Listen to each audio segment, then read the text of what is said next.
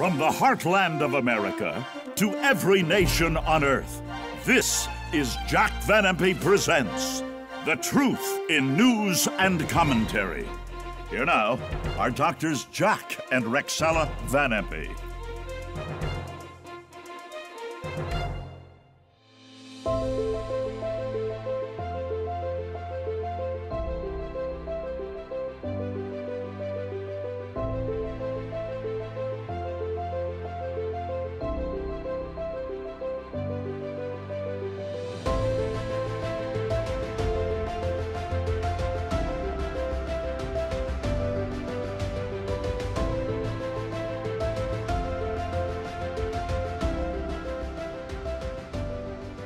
Hello and welcome to Jack Van Impe Presents. Well, we all know that the presidential election is just around the corner, and this first headline certainly is very important. Can President Obama run on his foreign policy record? Very, very good question. We'll deal with it. And then, you know, Putin has just won the election in Russia. Putin takes back Russia's nuclear button. He's got it in his hand, friends.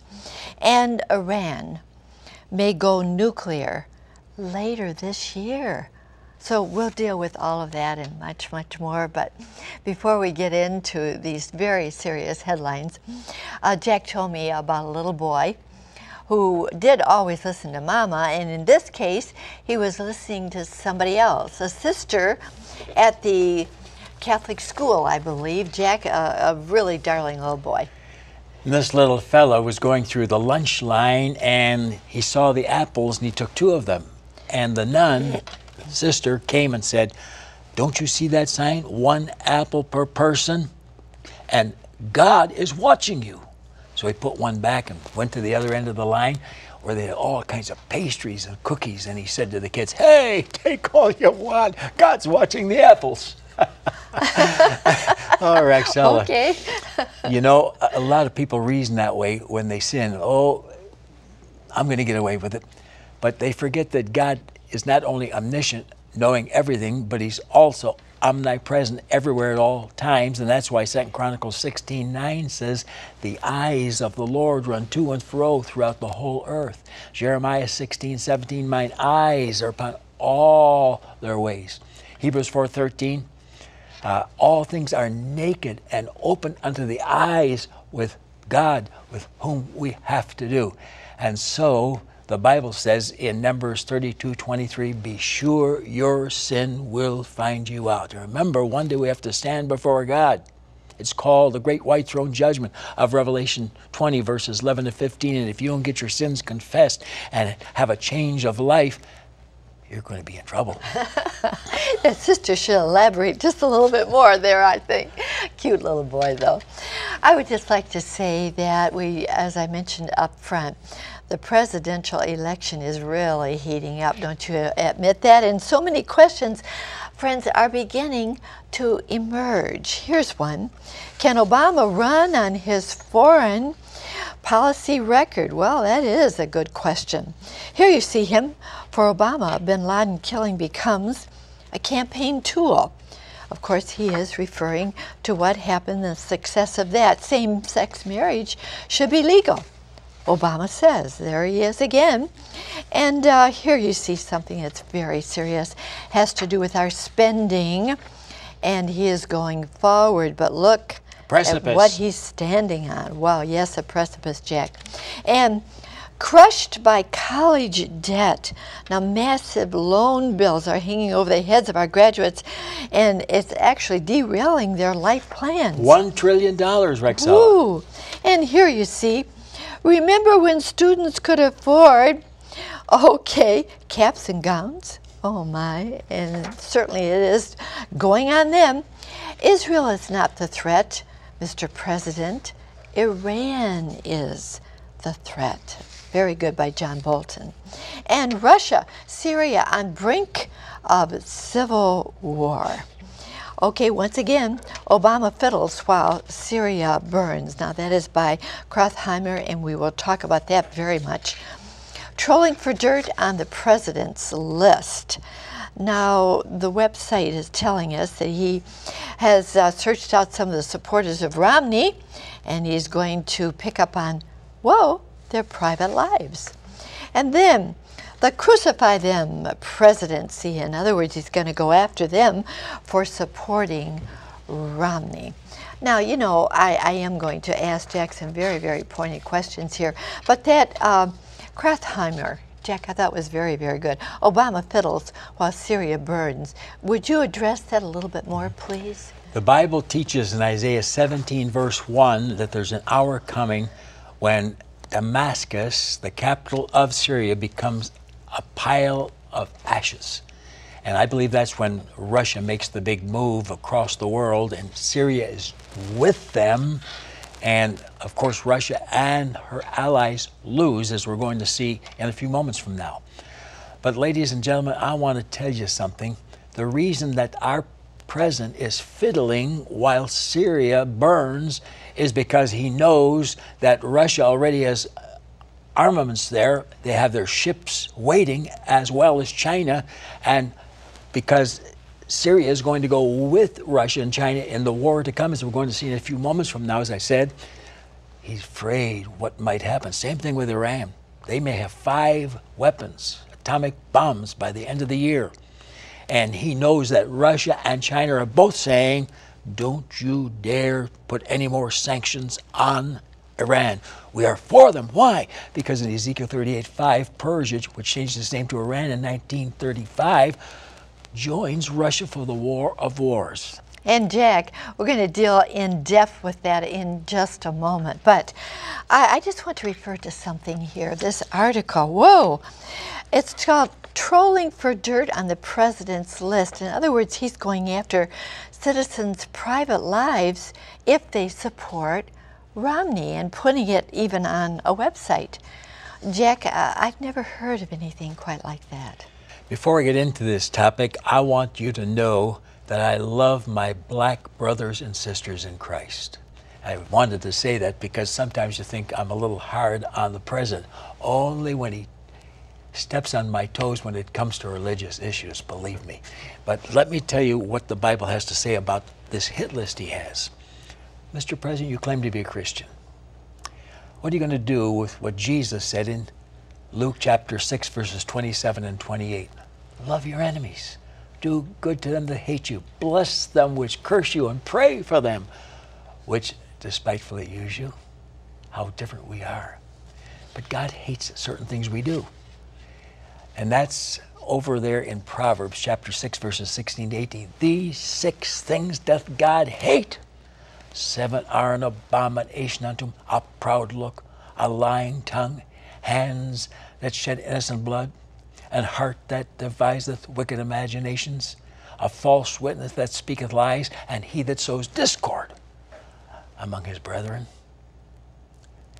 God says in Ephesians 4:25 to believers, wherefore putting away lying, and we've got some repenting to do. And if we want change in America like you profess to do and haven't done, then we need to get down and practice Second Chronicles 7:14. If my people which are called by my name shall humble themselves and pray and seek my face and turn from their wicked ways, then will I hear from heaven and will forgive their sin and will heal their land. Mm, my, so well said, Jack. Something else, friends, we're not into politics. Jack and I have voted Republican, Democrat, Independent. We're not into politics, but there are some biblical issues that you must think about and address. They're important in everything that we do, especially even in our voting, if it's a biblical issue. So, Jack, let's go back and forth here, okay? Okay. okay. Some of the things, the biblical things that have come up that I think we need to be reminded of once again, and that was something that happened with the president concerning Catholic issues. The first one on abortion, and the other one when he had them cover the cross when he went to address a Catholic university. Can you believe that? Covering the cross. Those are biblical, Jack. Yeah. He said he would not sponsor the Catholic Church, would not give them funds unless they committed murder. That's what I call it. The Bible says, Thou shalt not kill, Exodus 20, verse 13. But he said, I won't do it. Boy, there's been an uproar. Then he went to Georgetown University to speak. Well, the White House called the officials of the school and said, before he'll come and speak, you must cover up the cross of the Lord Jesus Christ. Of course, Muslims hate the cross, and he knew this was going to be broadcast to the world. He's a manipulator, compromiser. Now, folks, anyone who does that about the cross becomes an enemy of the cross of Christ. Philippians 3:18. You know why they don't want to hear about the cross? Because the preaching of the cross is to them that perish. Foolishness. 1 Corinthians 1:18.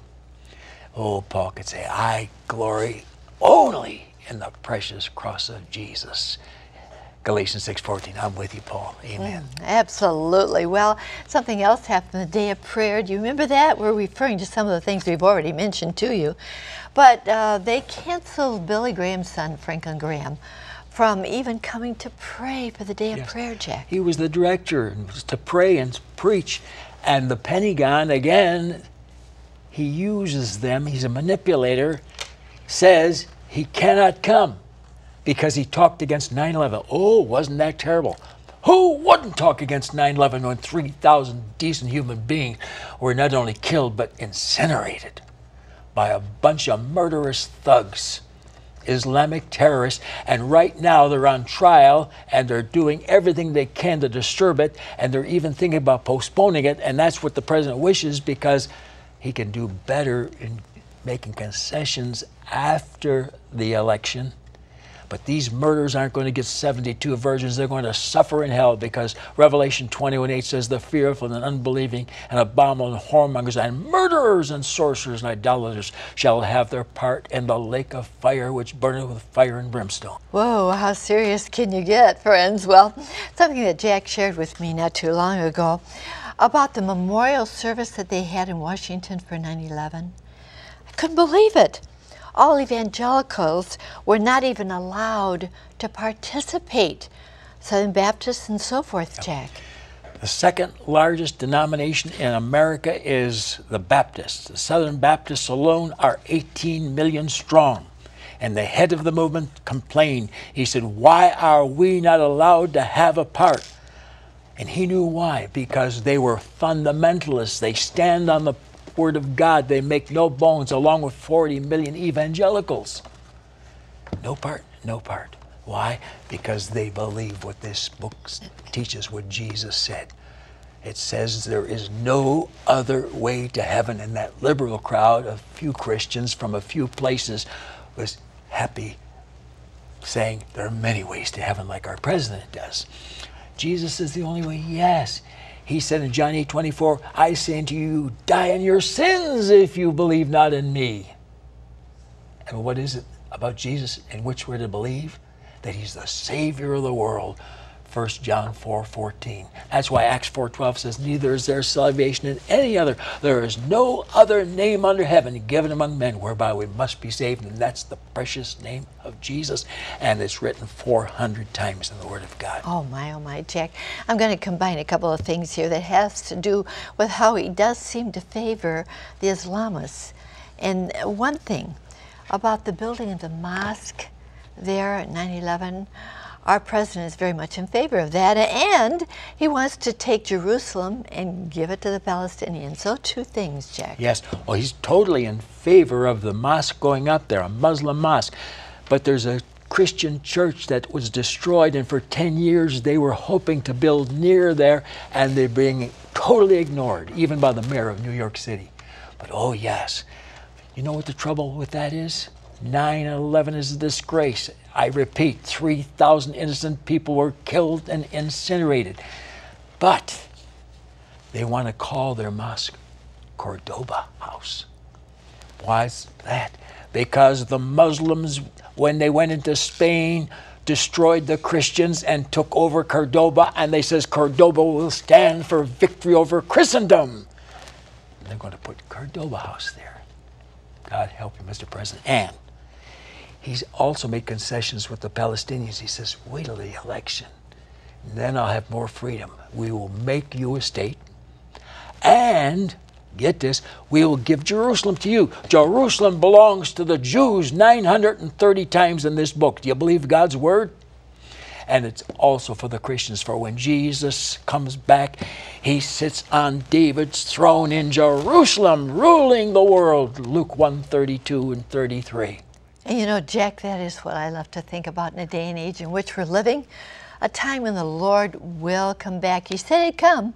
He's going to be coming back, and then we'll know peace on earth like never before. And now, friends, I mentioned about Vladimir Putin right up front on the program. And of course, uh, he has now taken control again, but not without opposition. And here you see it, Putin decoded. Now, this article talks about his unyieldingness and worldwide view of Russia's ignomatic leader going on. Thousands protest. Putin inauguration. My, I couldn't believe my eyes when I saw that, right, police? Break up anti Putin protest in Russia. Putin foes fear they are in dangerous times and awaiting the next revolution. Oh my, oh my. And Putin takes back Russia's nuclear button. He's got it in his hands. He says, Suitcase. That's where I want it, yes. And Russia does not rule out preemptive missile defense strike. Once again, now I want to just say that Jack made what you're going to see on the screen right now. He told me that he gave this message in 1951, and it is the coming war with Russia. My oh my. You know why he could do that in 1951? Because he took it out of the Bible. The Bible teaches there's going to be a huge, huge war with Russia. Now I'm going to ask Jack. Oh, Jack, I got so much here for you to cover. Uh, exactly, where does, what does the Bible teach about the future of Russia and that coming war?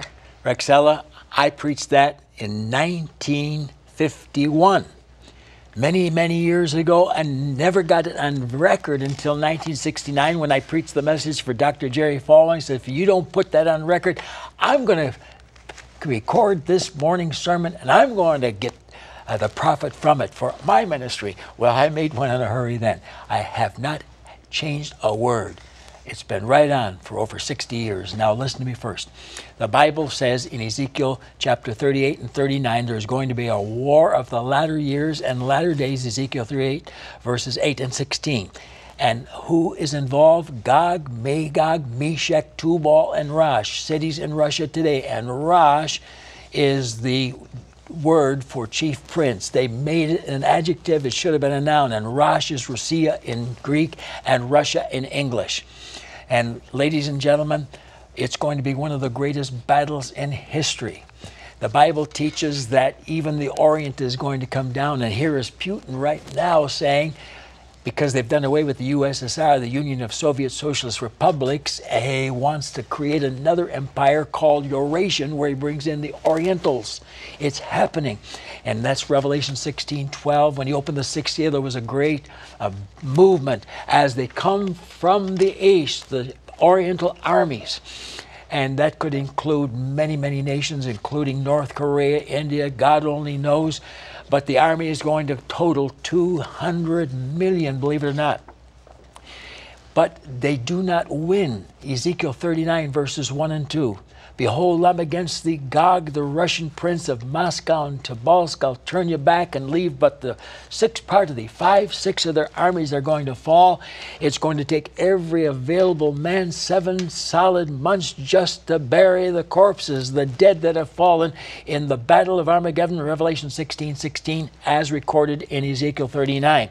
In fact, they're going to sever out men of continual employment in 39 verses 12 and 13. And they've used atomic weaponry because in 39 6, God says, I'm going to rain fire upon Gog of Magog. You also find it in Joel chapter 2. This is Russia. And they come down to Israel and fire devours before them. They're pushed back to Siberia, verse 20. And as they're being pushed back, the prophet sees blood, fire, pillars of smoke, atomic warfare. And this also happens when China's with them. Because in Revelation 9:18, and this is China now united with Russia, it says, By these three was the third part of men killed by the fire, the smoke, and the brimstone. But ladies and gentlemen, there's more. there's also going to be an Arab federation united with them. In Isaiah 17:1, we find that it's Syria. Daniel 11:40, Egypt. And now that the brotherhood's in, taking over again and breaking the peace with Israel, it could happen very easily soon. And then when we get to Ezekiel 38, verse 5, Persia, as I said earlier, changed its name to Iran in 1935, and they are united with Russia and China. And then in the Hebrew, for this book was written in Hebrew as far as the Old Testament is concerned, have Cush and Put, and that's Ethiopia, Libya, Yemen, that's Algeria, Morocco, Tunisia, and Indonesia, all those nations. And then in Psalm 83, verses 5 to 7, we have Jordan and Lebanon, nations galore. And what for? They want to destroy Israel. Let us cast Israel off from being a nation. Psalm 83, verse 4. But they're going to fail because Yahweh God says, I'm going to make Israel stand forever. I will give them an everlasting name, Isaiah 56 5. Rex, let's show us some of the nations that will be united with Russia. All right, we'll go on very, very quickly here and let's uh, show you the first one from the Jerusalem Post. And that is Russia and China going along with them. Arab Spring spins out of control. Here we see a revolution in Yemen. We're not finished yet. Nuclear meeting on Middle East at risk. Iran may go nuclear later this year. Germany will not accept Iranian nuclear weapon. China ups the pressure to prevent a strike on Iran's nuclear facilities. Is. Yeah, Pakistan's nuclear weapons vulnerable to theft, the report says. Whoa. U.S. readies for spring clash with the Taliban. Now, here is Nolan Finley. He's putting his neck on the line because he's very close to a huge Muslim population here, and he's very upset about 9 11. Take a look bombs instead of bells on 9 11. What an article he wrote. Jack, would you like to read the article and comment? Please? This is dynamite. I've always thought the best way to honor the 3,000 who were murdered would be to drop 3,000 bombs on their murders. Guantanamo crowd.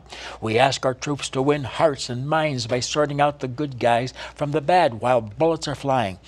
In the process, we've given our tormentors another 6,200 victims, our soldier boys. So maybe we should leave now. And as we go, nail a note on the door that says, Don't make us come back here. Because if we do, we'll flatten your miserable countries and everybody in them. Here is a man who is not afraid to speak up. So many are frightened. I told you a week ago that the head of the broadcasting system of England says we are so afraid to say anything. We just had Jesus in diapers and nobody really complained. That's what's wrong with Christians. But he said we would never do the same thing to Muhammad because we are frightened what they might do to us. And there are many Americans for the first time who are saying we're not going to continue putting up with this nonsense. So what are they doing about it? Just in Michigan alone, there are now 318,000 people with concealed weapons permits, not including the thousands of guns are at home because they are not afraid of what may come. And believe me, I just heard Feinstein say on Chris Wallace show that America's in trouble and we got to prepare because danger is ahead. Mm. And you know, Jack, we've got to prepare for something else too, and that's for eternity. When the Lord comes back, are you ready to meet Him? That's the reason we're in your home.